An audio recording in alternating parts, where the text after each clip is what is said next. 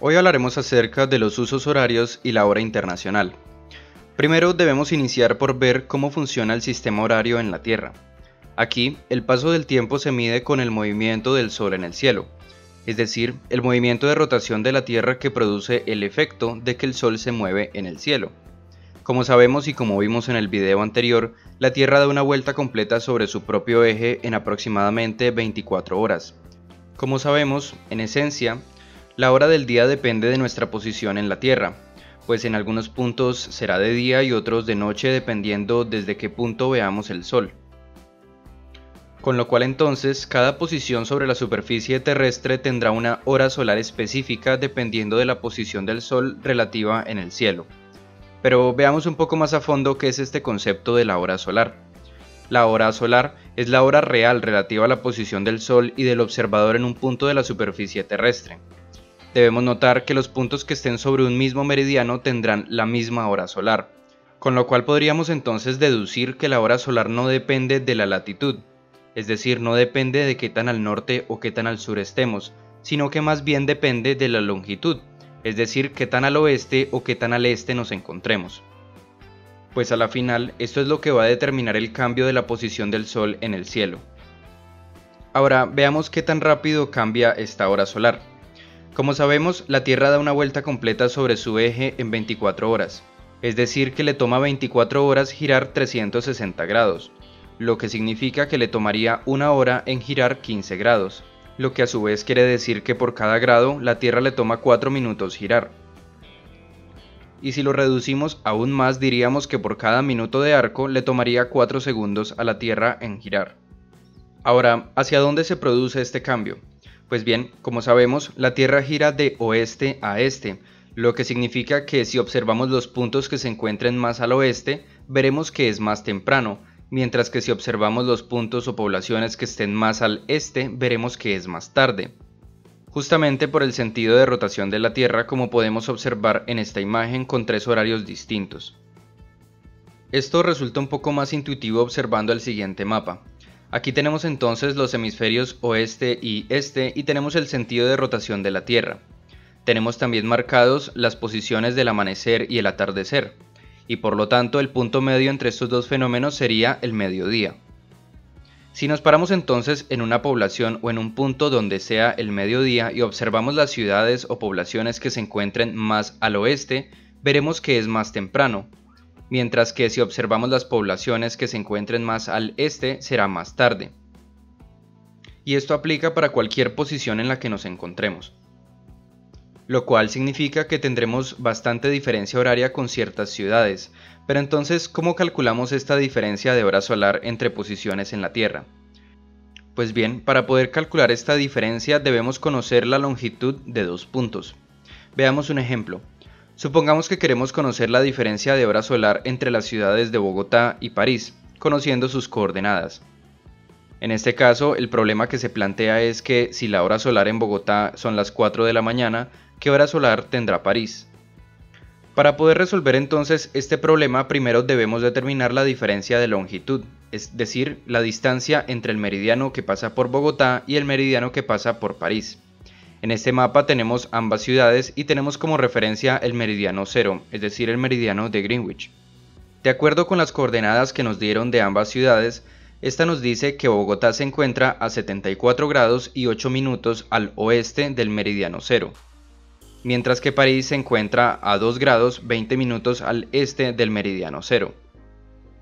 Ya que lo que queremos hallar es la distancia total entre los dos meridianos, debemos entonces sumar estos dos valores, pues se encuentran en hemisferios distintos, lo que nos da como resultado una distancia de 76 grados y 28 minutos entre Bogotá y París. Conociendo entonces esta diferencia de longitud podemos calcular la diferencia horaria. Veamos cómo. Recordemos que a la Tierra le toma 4 minutos en girar un grado, mientras que le toma 4 segundos girar un minuto de arco.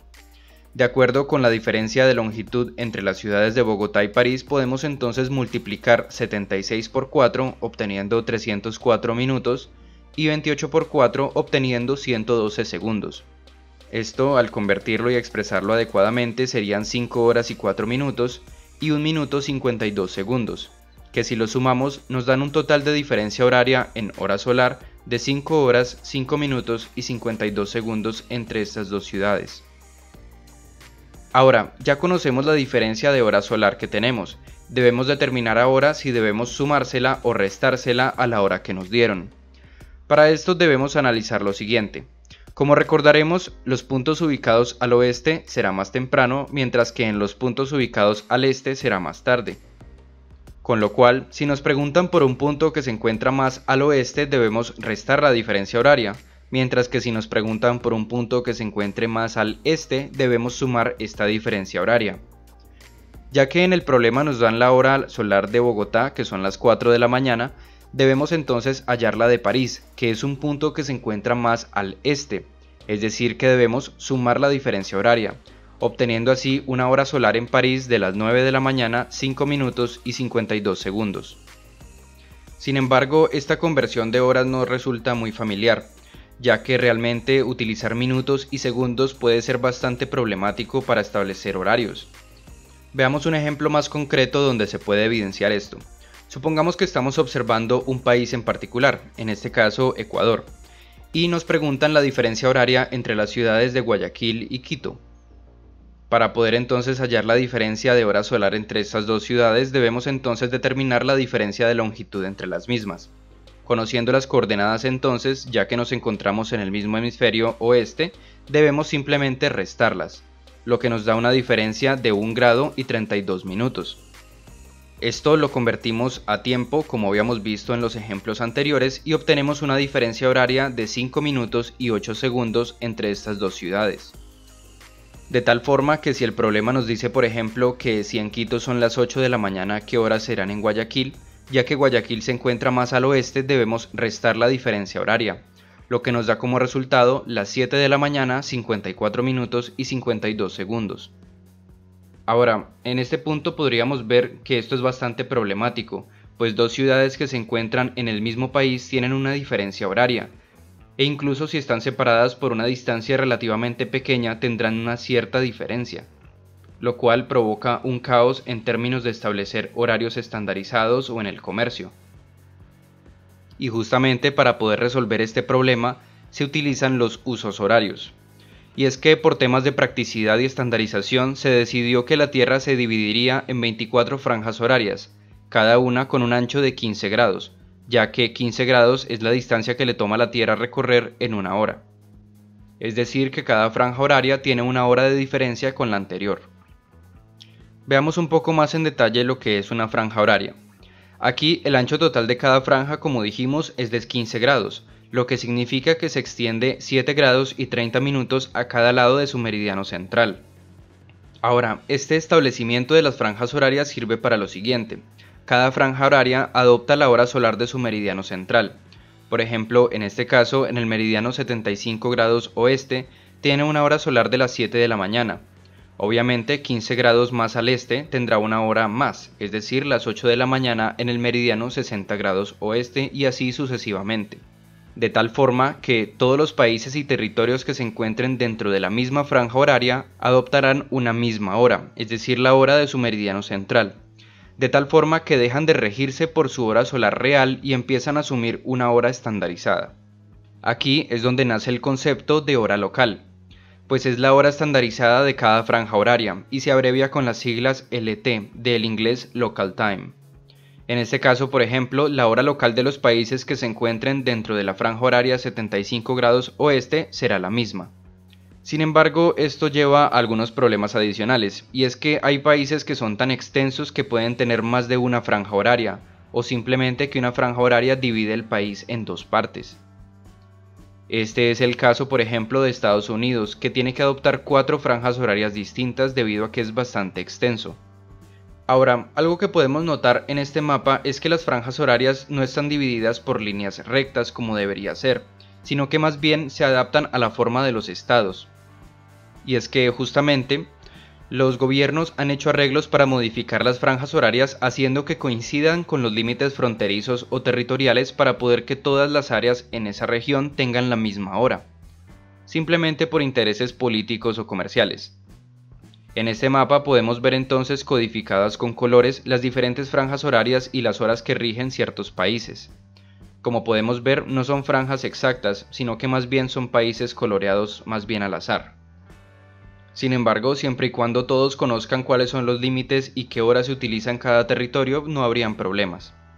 Pasemos ahora a ver cómo se nombra cada una de estas franjas. Existen varios métodos para hacer esto.